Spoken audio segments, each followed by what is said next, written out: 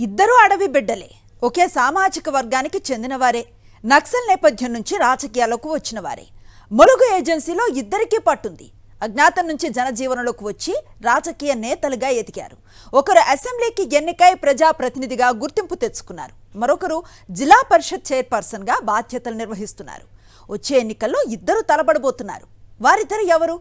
వారు పోటీ చేయబోతోంది ఎక్కడి నుంచి? ఫస్ట్ స్టోరీ తెలంగాణ రాష్ట్రంలో ఒకే నియోజకవర్గంతో జిల్లాగా ఆవిర్భవించిన ములుగుకు ఒక ప్రత్యేకత ఉంది.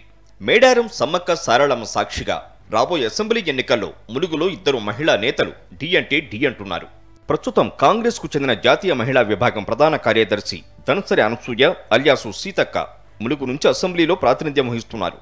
ఆమెకు ధీటైన అభ్యర్థిని బరిలోకి దించాలని అధికార గులాబీ పార్టీ వ్యూహాత్మకంగా పావులు కదిపింది. జిల్లా పరిషత్ ఇన్ఛార్జి చైర్పర్సన్ బడే నాగజ్మోతిని అభ్యర్థిగా గులాబీ దళపతి సీఎం కేసీఆర్ ప్రకటించారు.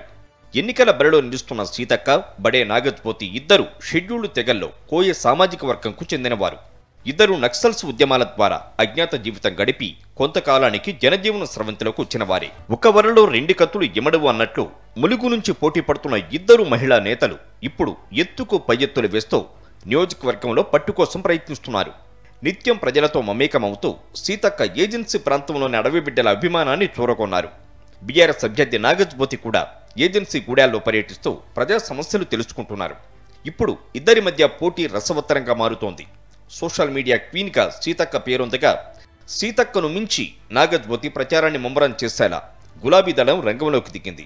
ఏజెన్సీ గూడాలను అటు సీతక్క ఇటు బీఆర్ఎస్ శ్రేణులు పోటాపోటీగా చుట్టేస్తున్నారు. ప్రజల దృష్టిని ఆకర్షించేలా ప్రచారం సాగిస్తున్నారు. ములుగులో సీతక్క తిరుగులేని నాయకురాలుగా ఎదగడంతో ఆమెకు ఈసారి చెక్ పెట్టడమే లక్ష్యంగా బీఆర్ఎస్ వ్యూహాత్మకంగా వ్యవహరిస్తోంది. అభ్యర్థి ఎంపికలో సక్సెస్ అయిన బీఆర్ఎస్ గ్యాలెట్ పోరులో సైతం పైచేయిగా నిలిచేలా పగడ్బందీ ప్రణాళికతో ముందుకు వెళుతోంది. అభ్యర్థిని అధికారికంగా ప్రకటించిన వెంటనే ములుగు జిల్లా బీఆర్ఎస్ అధ్యక్షుడిగా వెలమ సామాజిక వర్గానికి చెందిన ఆర్థికంగా బలమైన నాయకుడు కాకులమర్రి లక్ష్మణ్ బాబును నియమించి పార్టీ కార్యక్రమాలకు పదును పెట్టారు.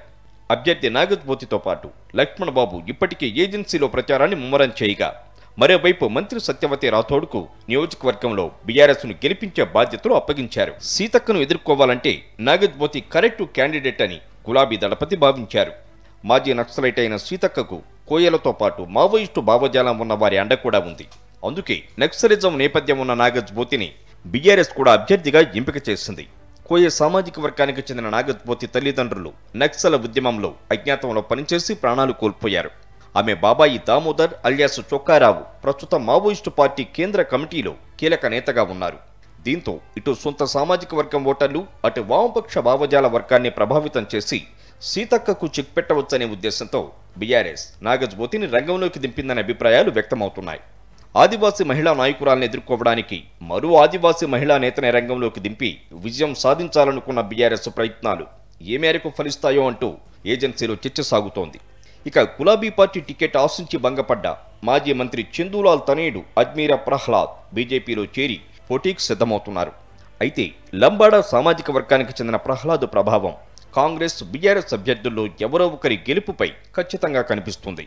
మరి ఆదివాసీ మహిళా నేతల్లో ప్రహ్లాద్ ఎవరికి నష్టం కలిగిస్తారు ఎవరిని గెలిపిస్తారో చూడాలి.